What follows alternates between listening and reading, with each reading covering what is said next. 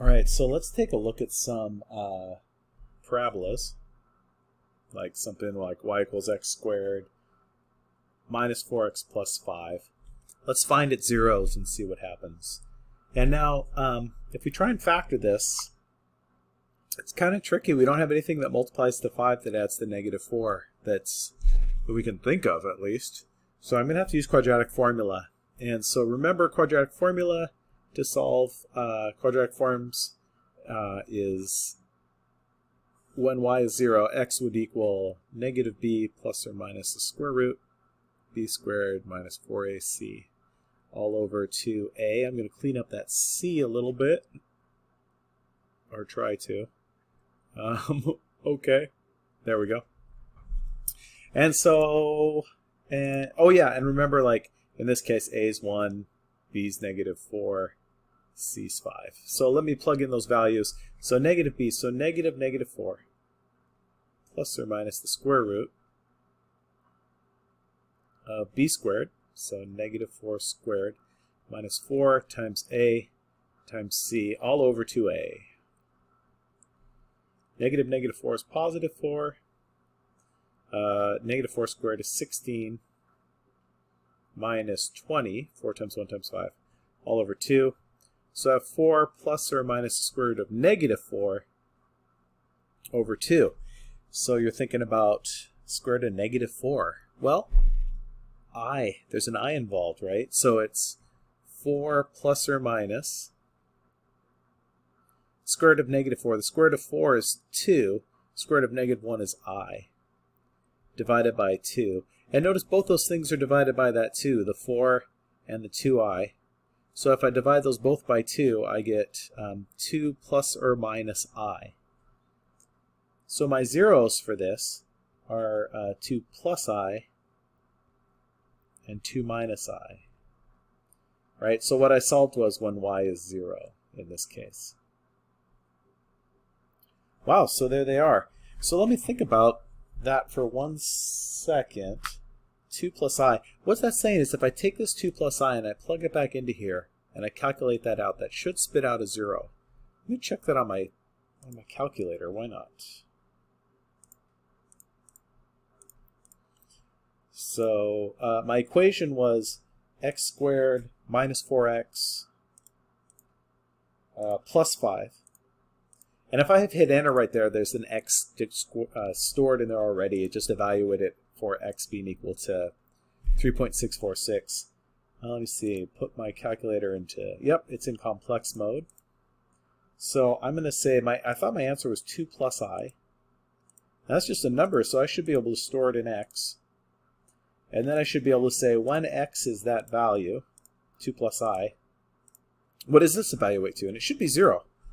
Yeah, it is. So if I plug this 2 plus i in, square it, subtract 4 times it, and add 5, I get 0.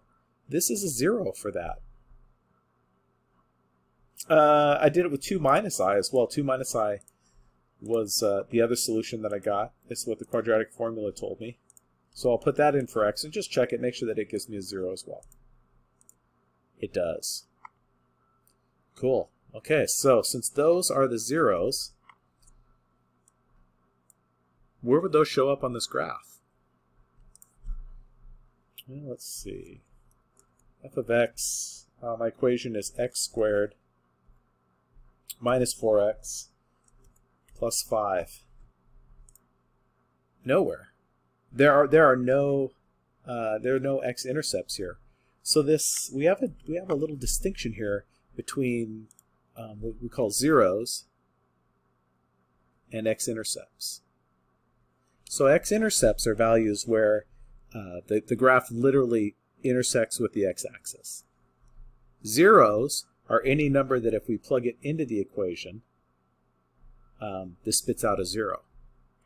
So all x-intercepts are zeros, but not all zeros are x-intercepts because it looks like our, some of our zeros can be can have an imaginary component to them, written in this complex form.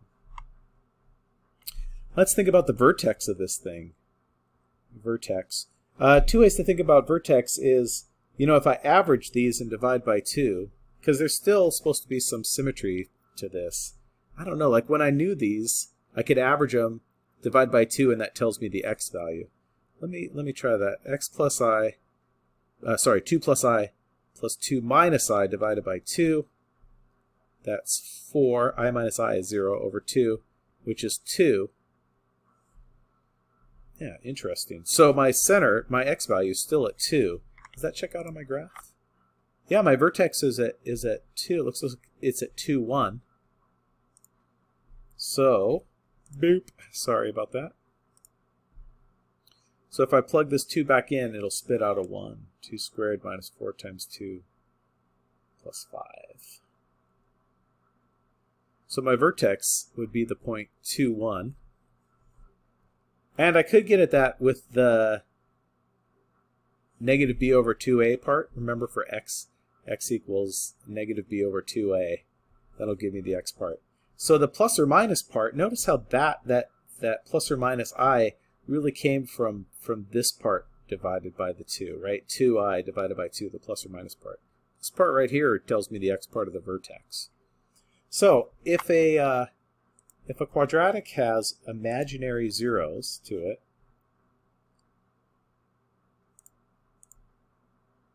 it means it doesn't cross the x-intercept at all. Uh, the, I'm sorry, the x-axis at all. It doesn't intercept it at all. Let's do one more problem like that, just using quadratic formula to find uh, to find zeros. So y equals x squared minus 10x plus 29.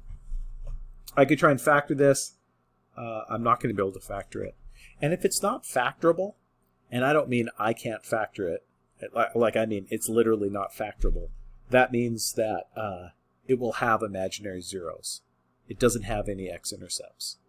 So let's do that. We use quadratic formula again. Negative b plus or minus the square root of b squared minus 4 times a times c all over 2 times a.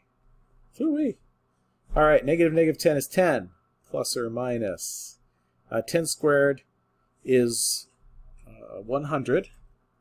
And then I have, that's going to be minus 4 times 29, which is 116. 2 times 1 is 2. So I have 10 plus or minus the square root of negative 16 over 2. Oh, looky there.